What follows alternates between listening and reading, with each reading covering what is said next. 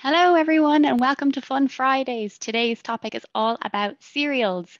My name is Aimee, and for anyone who has tuned in before, welcome back. And to anyone new, you're very welcome to Fun Fridays. So just before we start, as usual, I just want to mention the Dig In books. So these are available to download from our Agri Aware website, and that is where you can find all of the lesson plans that these Fun Friday webinars are based on. And there are also activity sheets and worksheets for you to download to use in class or at home. So for today's webinar on cereals, the relevant Dig In topics are soils, the Irish farmer, and cereals and grasses. So they are all available to download from the website. Lots of people are joining here just in time for our 11 o'clock webinar. Oh, I actually had a shout out that I wanted to give to Clockfin National School. I had seen your tweets. Thank you very much for tagging us in your wall pencil toppers. They looked fantastic, everyone. Lots of gorgeous colors. And I'm not sure if they're here, but I also wanted to say hello to St. Joseph's National School. Hello, everyone. Thank you for those tags on social media. And hello to Kanturk Boys. Hello, everybody. Super. So there's lots of people still joining. So we're going to get started very, very soon. Great. So the only thing I wanted to mention is if you had missed any of the other Fun Fridays webinars, either the first one on dairy or the second one on sheep, they can be caught up on YouTube. So those links have been sent to the, your teachers in the email that we sent out, but also they are up on the Agri Aware YouTube page as well. So if you've missed anything, particularly the quiz challenger questions, you can catch up there to make sure that you have all of the right answers to enter the competition to possibly win a trip to Dublin Zoo. So again, that competition doesn't open until the 10th of December and that your teacher will receive a link with the, um, the form to fill out all of their answers. Great, so I think we can get started. So as usual, I'm just going to share my screen. I've just got a short presentation to give you an introduction to cereals. And then we will also have our educational video material, and activity, and finally our quiz challenge challenger question. So let's get started. So we're going to have an introduction to cereals and cereal products. Our educational video is going to be the story of flour. So right from the wheat that is grown in the soil up to how we actually produce flour to be used to make bread and other bits and pieces. Our activity is going to be salt dough plaques. So I have mine already made and we're going to be making them together a little bit later on. And then finally, quiz challenger number three will be revealed at the end of the webinar.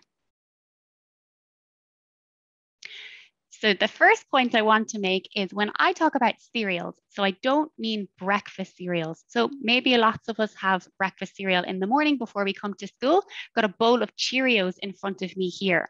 So when I say cereals, when I'm talking about our material that we're learning for Dig In, I'm not talking about our breakfast cereals. I'm actually talking about cereals that grow in the soil that a farmer would look after that can then be processed and turned into different products that come from our cereals.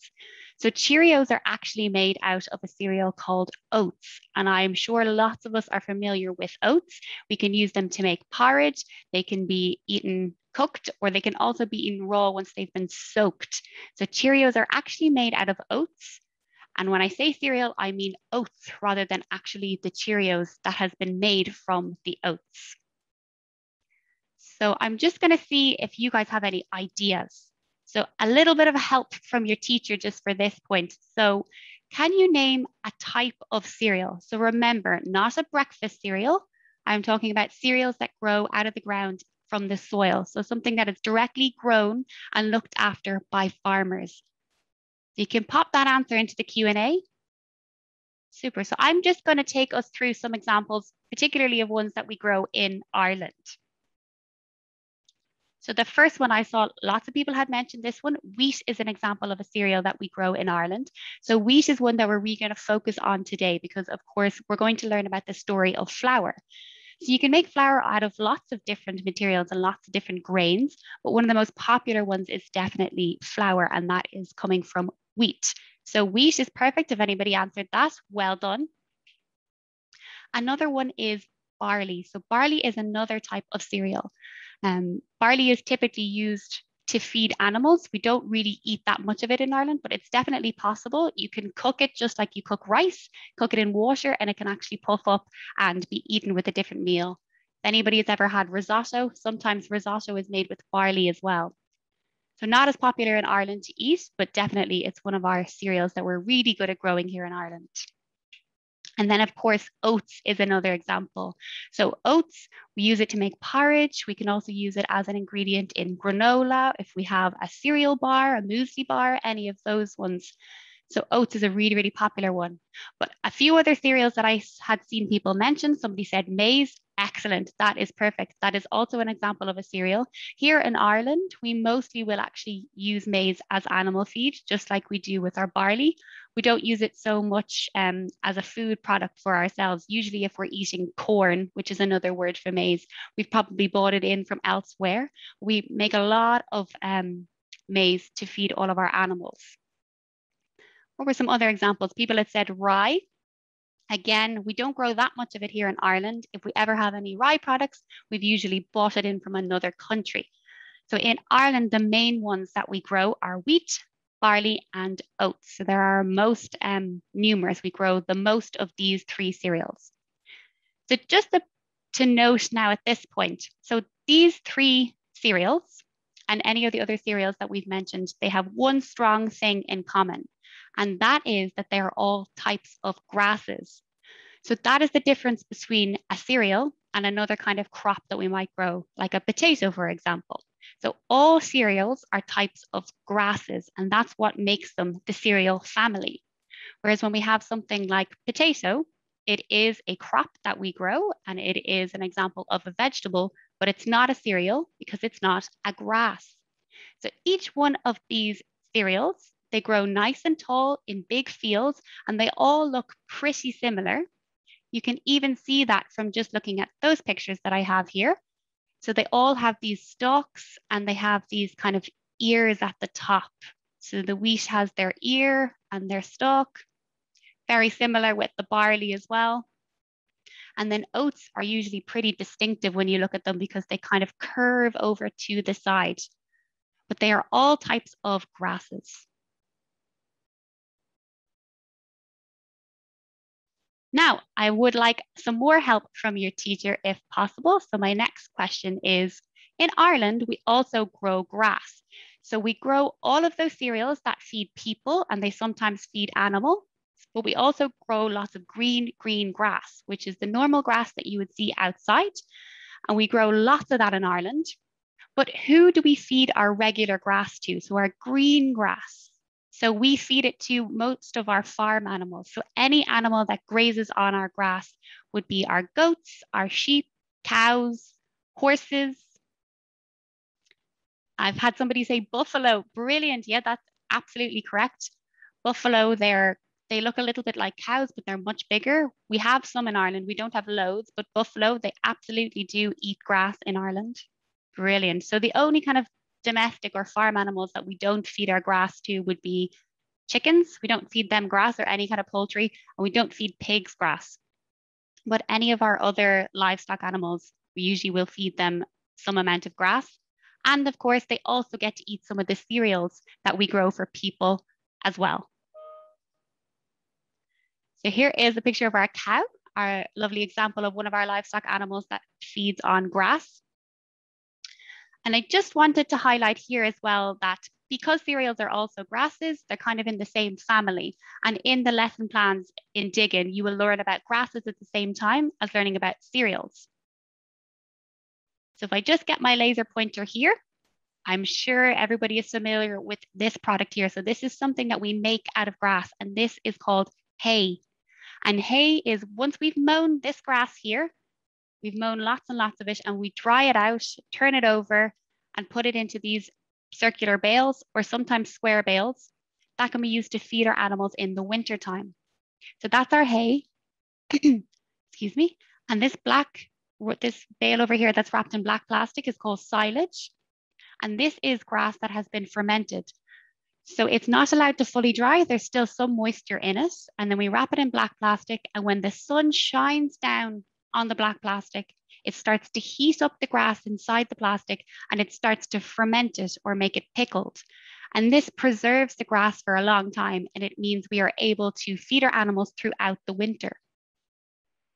So when we cut the grass, we can make hay or we can also make silage. And this is another way that we feed our animals, as well as feeding them things like wheat and barley and a bit of oats too.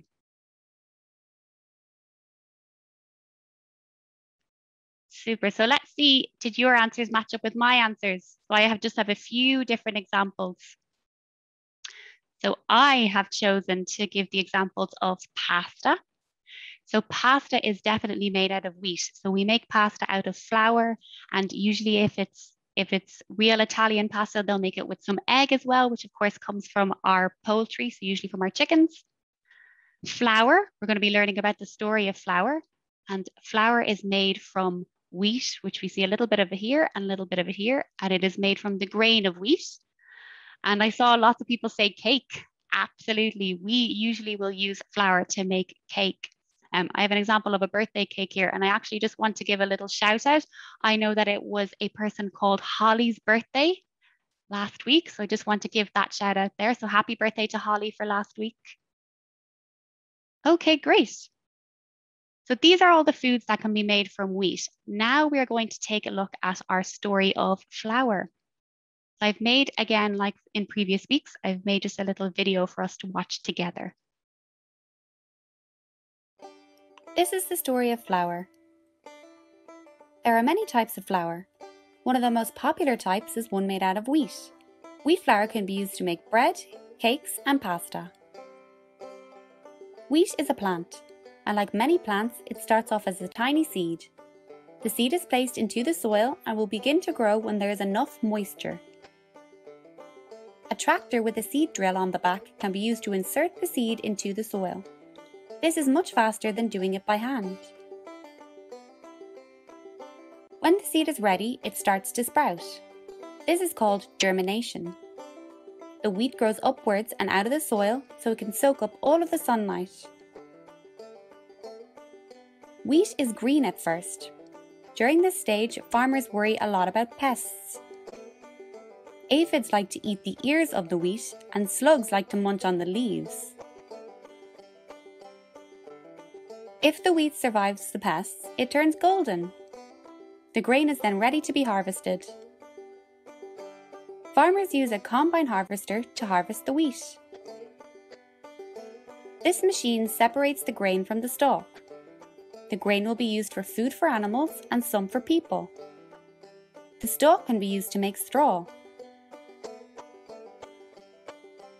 The grain is collected in a trailer some of this grain will be sent to the factory to make flour.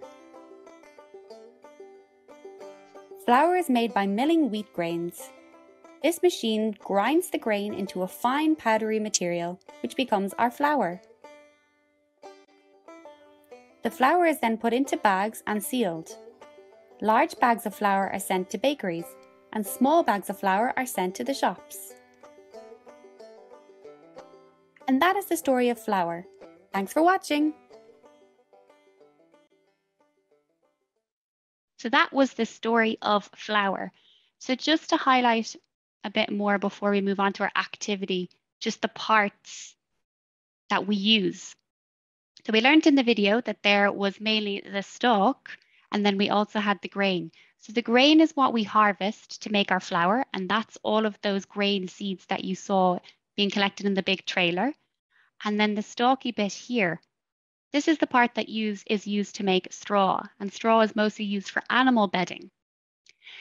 This entire area here, you might have heard of a wheat ear before. So that's this bit up here that will contain any of the seeds and also the tiny little flowers that the wheat plant actually has. So they're contained in the ear up here.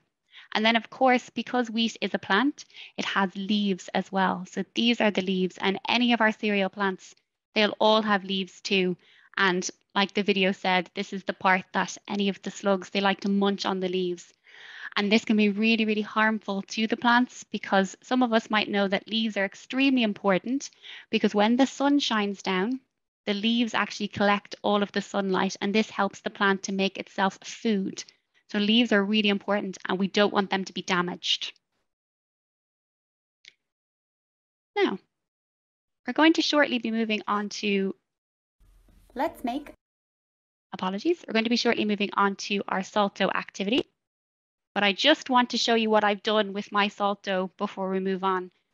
So I have already made mine. And again, I've made you a video to either watch along or you can work along with me. We're going to make salt dough plaques.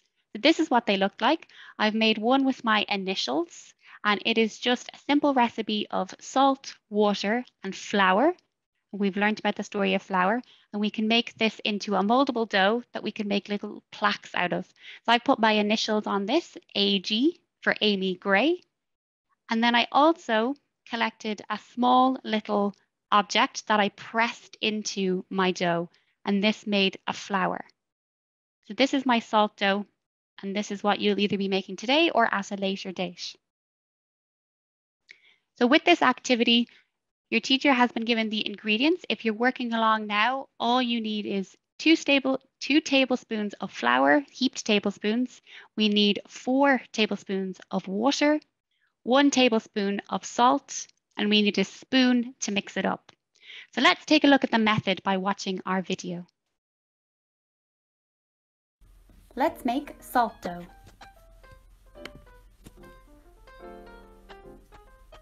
We will need a spoon, a bowl, some water,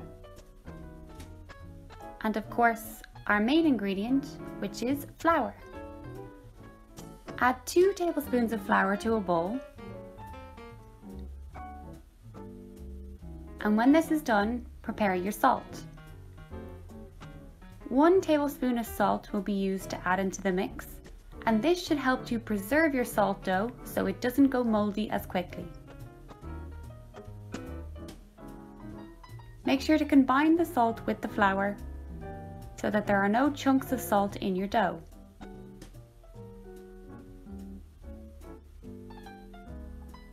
When this is done, add your tablespoon of water and another, number three, and the last one, number four. Mix this up in your bowl until it is fully combined with the flour and salt.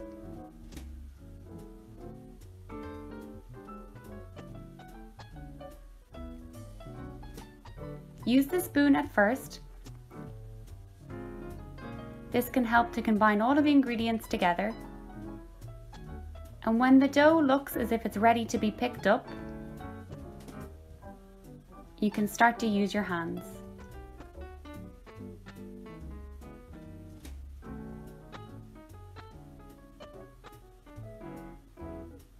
The dough should feel tacky but not sticky.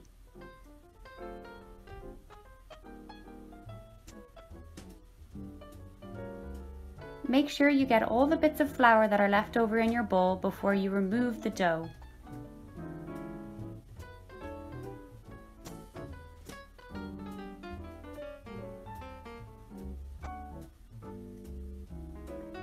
Dough is too wet, you can add a small bit more flour.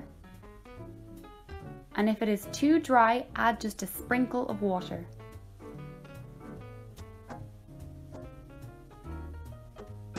Mine is ready to be taken out of the bowl. It shouldn't leave any residue on your hands.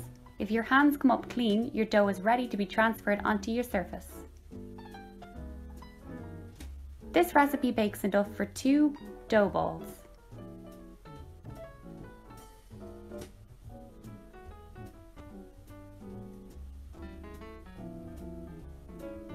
Make sure your surface area has enough space for you to be able to roll your dough balls.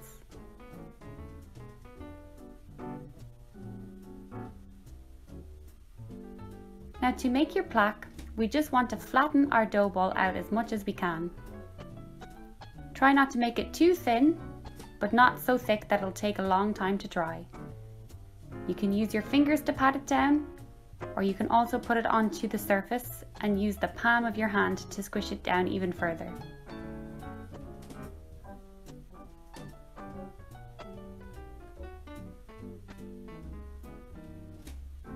The first plaque I'm going to show you is one with my initials. So my initials are AG and you can see by using a pencil you're able to carve your initials into the salt dough. You can even write your entire name if you have space.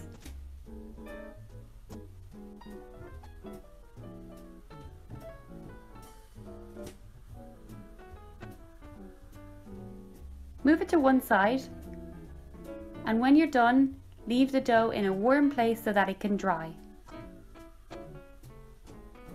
There is another option to use a small object to make an impression in your dough.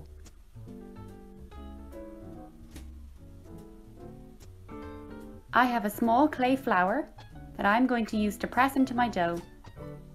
This will make the shape of the flower into your dough plaque.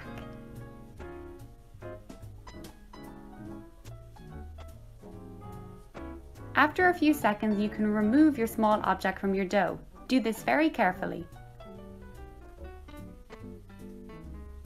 You can see that there has been an impression of the flour left in my dough. When my plaques are dry, I will paint them.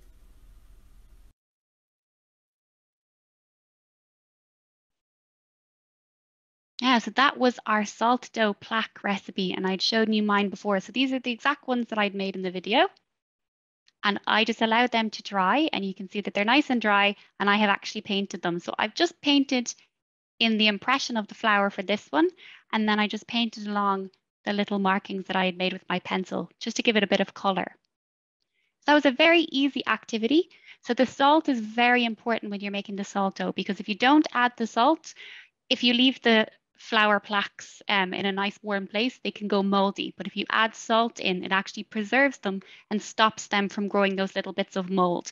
So you won't be able to keep them forever, but you will be able to keep them for a few weeks. So they're a nice alternative to painting rocks or different things like that. This is something that you can make very, very easily. Great, so we're just about ready for our quiz challenger question. So I hope everybody is ready.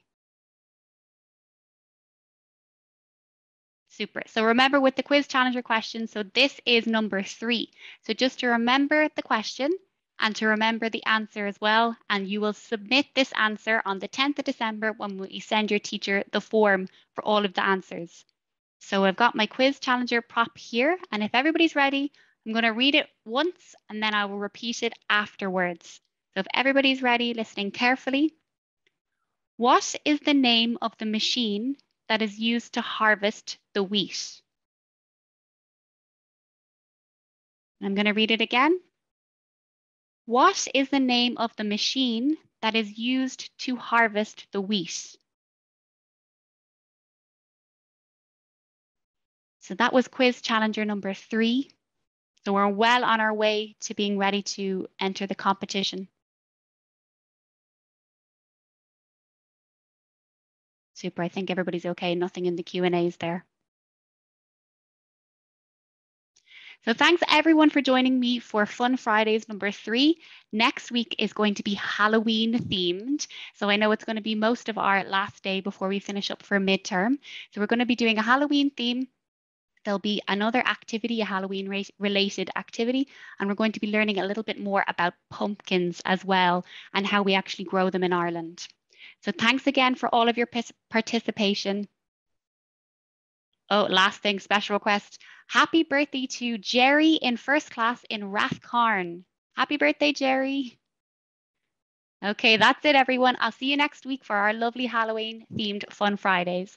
Have a lovely weekend and the rest of your day. Goodbye.